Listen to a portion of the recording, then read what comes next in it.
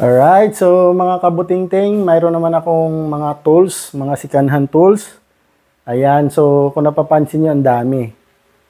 Marami pa ako sa labas. Ayan. So pakita ko lang sa inyo na ganyan ha. Ayan, nilagay ko lang dyan para ano. Ayan. So isa-isahin natin.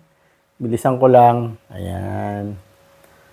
So, kaya mag-upload ulit ako ngayon kasi ano na, uh, marami nagre-request na i-record ko daw para makikita nila. So, anong mayroon ako ngayon? So, mayroon akong, ngayon natin yung sander. Ayan. Makita, finishing sander. So, mayroon akong apat o lima. May ganito. So, one, two lang. Pwede siguro to. Isa. Ayan. Mabilisan lang. So, ayan. So, meron tayong blue, tatlo, tsaka dalawang green. So, ito mga original to. Good condition. Lagyan nyo na lang ng liya, gagamitin nyo na. So, mayroon pa akong orbital sander naman. Ito, maliliit. Ayan. So, mga anim na piraso din ang available nito. Ayan.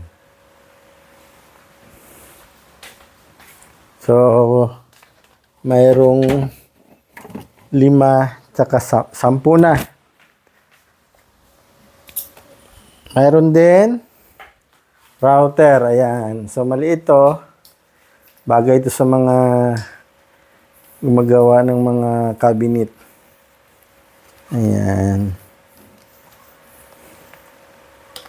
So, mayroon tayong router, Makita brand. Maliit siya. Gusto niyo naman malaki. Mayroon din tayong malaki. Ayan. So, heavy duty to. So, depende sa mga kailangan nyo kung, ayan, kung saan doon pasok doon sa mga ginagawa nyo. Ayan. Ang brand naman itong pula, ayun, makita din. Ayan. Makita din siya. So, task ko na lang yung mga available ngayon, no? Tapos, PM nyo na lang yung mga kailangan nyo pag-usapan natin yung price. Kami naman, kumita ng konti.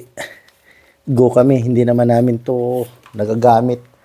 So, mayroon tayong hammer drill. Ayan. Makita, 1630. Ayan. So, ito, chuck lang naman ang kulang nito. Lagyan lang namin ng bagong chuck. Kagaya nito. Ayan. So, available tayo. Dalawa. Pero marami pa ako doon sa labas dito lang muna yung pinapasok sa loob. So, dalawang makita, 1630, hammer drill na yun po. Tapos, mayroon pa akong isang makita din. Yan. So, ito magaan to. Pwede dalhin sa bubong. Ay, sa taas. Ganyan. Pero hammer drill na rin to. Ayan. Makita din.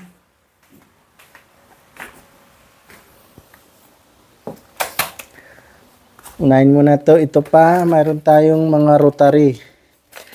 Rotary naman na makita, empty series. Ayan.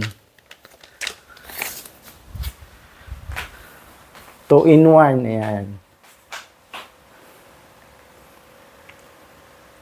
Ito, linis lang kailangan dito. Ayan. Marami ito, mga 20 piraso to ang available ko. Sa ganitong brand. Rotary hammer drill na makita.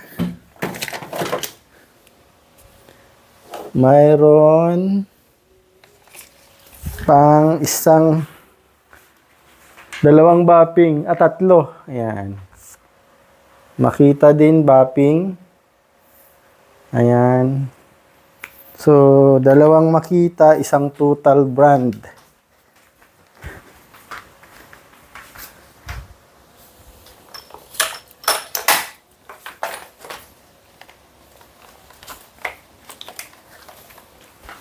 Ayan.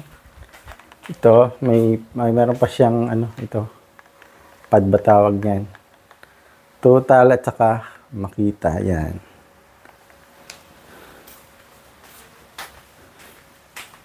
Bopping machine.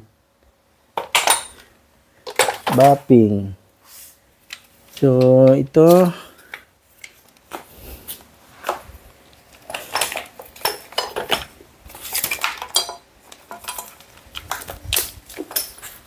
Meron din tayong makita. Yan. Hammer drill din ata to. Ang model niya 8419B. Ayan.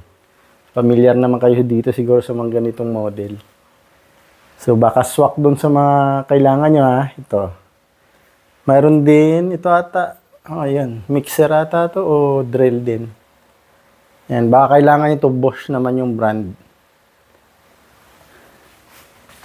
Yap ko lang yung price, PM lang. Pag-usapan natin. Pag sakto sa budget nyo, go. Yan, meron pa akong malaking low speed. Ito, matibay ito. Ayan. Mayroon din akong ito, low speed na kiyang yung brand aluminum siya. Body, ayan. Tapos ito ang laki ng chuck nyo.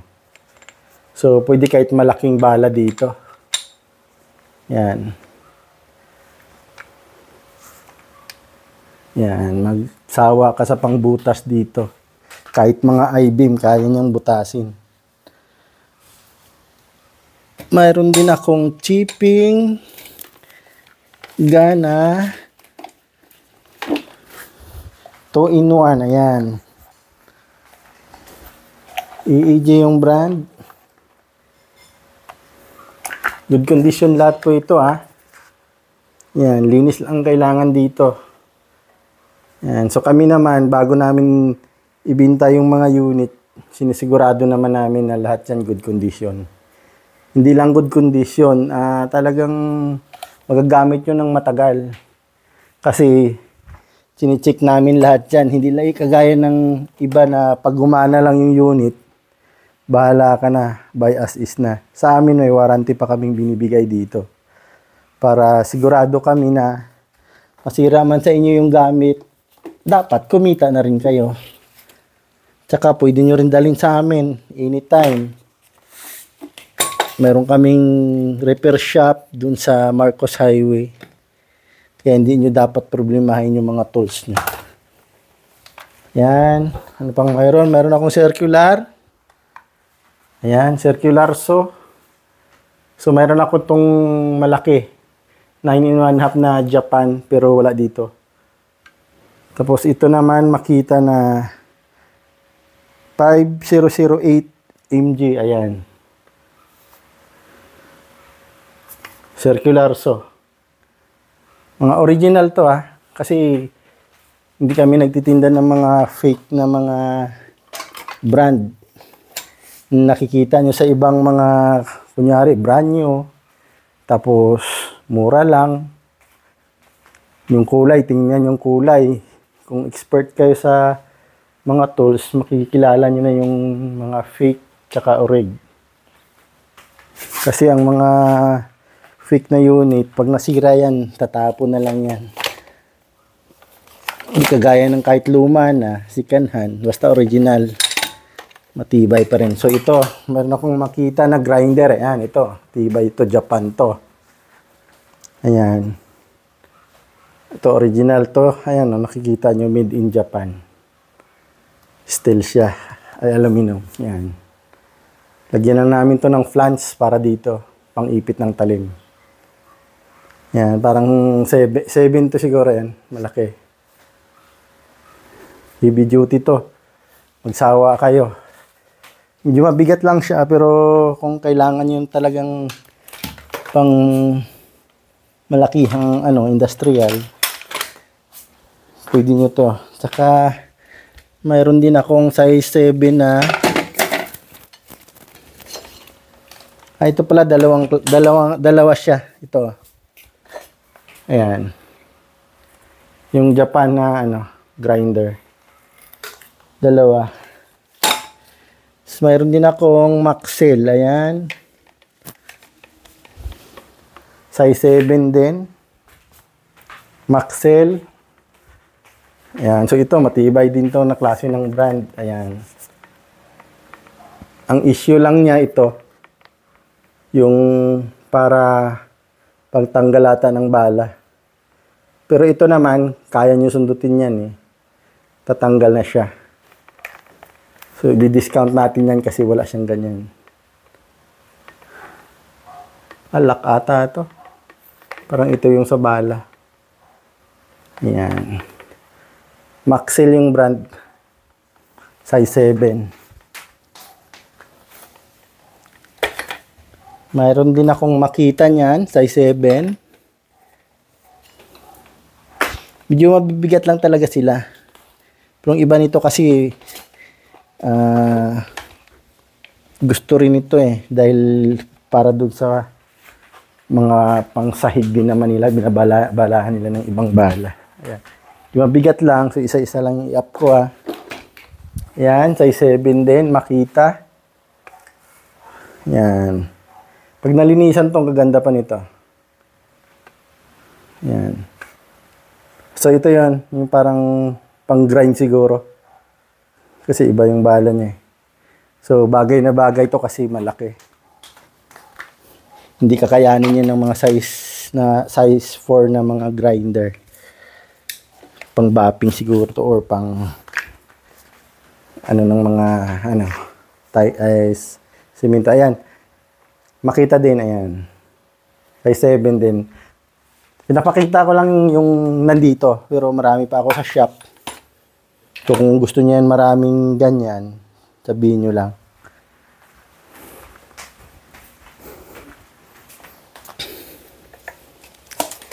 Yan, kami naman kasi nandito lang, hindi naman kami gumagamit ng ganito. eh.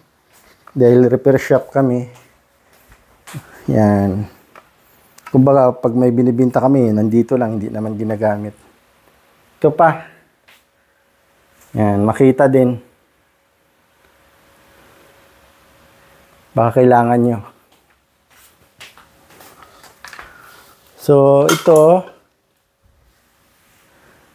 ito kung napapansin nyo, marami pa. Oh. Ito pa, oh. yung Kiyang na brand na low speed. So, next, ito medyo sabihin natin na medyo mahal. Pero kung alam nyo naman yung presyuhan nito, napakamura na ang binta namin. Sikanhan. Yan, healthy brand. So, sino dyan? Yayamanin. Ito yung mga gamit ng mga yayamanin. T2. Yan. T2 na hammer drill. Healthy. So, 4,000. Pero price naman lahat, negotiable. Pagkasyahin natin yung budget nyo. Meron pa akong maganda. Ito. T7. Napakagaan. So, kung mga gipitan, ito kaliwa to. Kayang-kaya ng kamay ko, kaliwa. TE7. 6.5. Yan. So, negotiable pa yan. Ayan, oh. Itong ganda to kung mga, ano, mga medyo maliit lang yung space nyo. Exe lang siya eh. Tsaka ang gagaan, oh. Isang kamay lang. TE7. Alam naman ang presyuhan nito ng mga gumagamit nito kung magkano brand yun ito. Ayan, TE7, 6.5 pero sa gaya ng sinasabi ko, negotiable pa lahat. So mayroon pa tayong TE 500X, ayan, chipping gun. Demolition hammer siya, ayan. TE 500X. So i-up ko lang ha. Sabihin nyo lang kung ano mga kailangan nyo. Tapos ito, mayroon tayong TE70. Ito, medyo mabigat siya. Ayan. TE70. Pero ang dami naghahanap nito sa akin. Ah, pwede balahan to ng malaki na bala pang butas tsaka pang tibag. Parang ano siya, 2 in 1. So ito, kayang pang butas sa mga bato to na ano eh. Adobe. Dami ko nabibinta niyan eh. Dinadala sa ano, sa Baguio. Ito, kita niyo ang laki ng bala. Oh.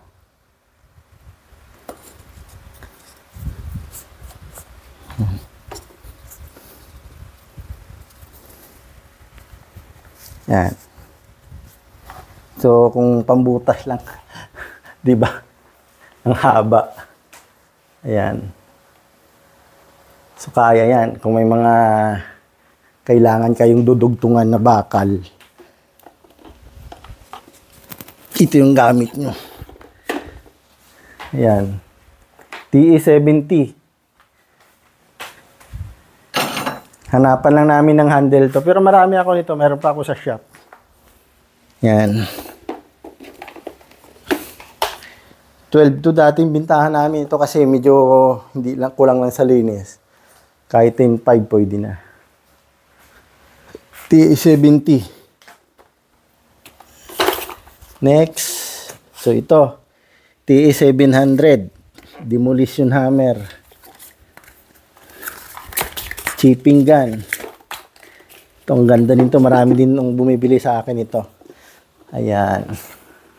Ito magaan. Mas mabigat yung TE70. Pero iba naman kasing trabaho ng TE70. Pwede sa pang butas, tsaka pantibag. Ito naman, pantibag lang. Halimbawa sa ganyan, mga wall, tiles, yan. Tsaka mga tapping ng tiles. Ito yon Pwede rin to yung panghukay ng mga siguro 4 inches yung kapal ng sahig. Kaka, kaya naman. Yan. Huwag nyo lang gawin niya parang jackhammer. Kasi iba naman to eh. Pang ano lang talaga siya. Although kakaya naman. Kaya lang, siyempre, para matagal naman siya. Kung pang jackhammer na panghukay talaga, yun na yung gagamitan nyo. Ayan. So magaan. Pwede siya eh, ganun, no? Pwede rin sa ganyan. Gaan. TE 700. So, ang bintahan nito namin, ayan, may kasamang bala 13.5. Pero, yon pag-usapan natin, pag residido naman kayo, lahat naman negotiable. So, ilan ang available ko nito? Lima. Ayan. Ay, hindi. Marami pala to. Mga walo. Ayan, oh. Pinapawisan na ako eh. Turo ko na lang. Yan, no, TE 700 dyan. 5 ang nandito. So, mayroon akong isang TE TE 706. Parang TE, ano din siya.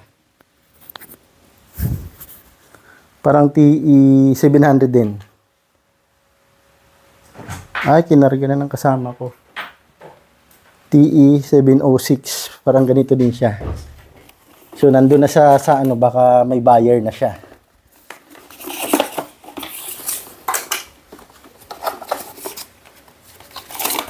Ito TE 700 din. Ayan. Ito malinis pa. Oh. Unahan nyo na. Ayan. May handle pa. May box. TE 700. So, kung kailangan nyo naman ng jackhammer, mayroon akong TE 1,500. Ito. Ang brand yun to siguro may gitsandaan. Mga 120 siguro, 130. Ayan. TE 1,500. Ayan. Medyo mabigat lang siya kumpara mo dun sa TE 700. Pero ito kasi jackhammer na to eh. Ayan. So, binta ko yan kahit 25 lang. Pero kung may bala, dagdagan ko naman kasi medyo may, ma- ma- may kamahalan yung bala eh. So, ano pa ba? Cut off saw. Marami din akong cut off saw na mga Makita, 3.8. Good condition. Uh-huh. Ayan. So, ikot ko na lang kayo ha. Yan lang. Hawakan ko na lang kasi pinapawisan na ako. Ayan. Yan yung mga chipping gun. TE700. So, mayroon pa akong, yun, ang dami ko pa. Ayan. Sige, sa labas. Iikot ko pa kayo sa labas. Saglit lang. Kailan yung sa labas ko, hindi pa masyado, ano eh. Hindi pa masyado na ligpit. Pero marami pa ako dito, hindi ko na pinasok. Jackhammer pala, mayroon pa ako. Ayan.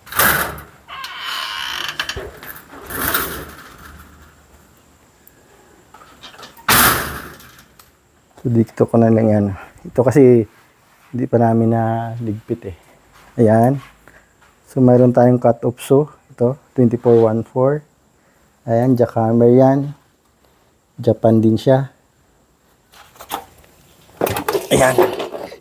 Bakal siya, ayan. Ay, aluminum pala. Medyo mabigat lang. Cut-off saw. Ayan, kung napapansin, dami pa. Mga chipping gun, mayroon din ako. Dami pa. Hindi pa namin naligpit, kakarating lang. Ito, good condition na lahat to. Ayan, mga cut-off saw. Mayroon pang rotary. Ayan. So, ayan pa, ang dami pa. Oh. Ayan. Ayan pa. Di pa namin naligpit kasi galing na sa holiday gumala muna. So, so ayun, yun, yun na muna. Kung may mga kailangan pa kayo, marami pa ako sa shop. Iba-ibang klaseng mga tools. Kung may kailangan kayo, PM nyo lang. Sabihin nyo lang sa akin yung tools na kailangan nyo. Para kung wala, mayroon na wala akong na-up dito, sa shop sigurado mayroon. Mga rotary, makita din marami. Chipping gun, makita din, marami din doon. Ayan, so dito lang sa bahay, ano lang to, yung sobra lang. Ayan. Yan sila. Meron pa ako sa taas, napakadami pa eh. Ayan. So, ito dito muna. Hindi ko pa nailigpit. Ayan. Ayan. Ayan pa.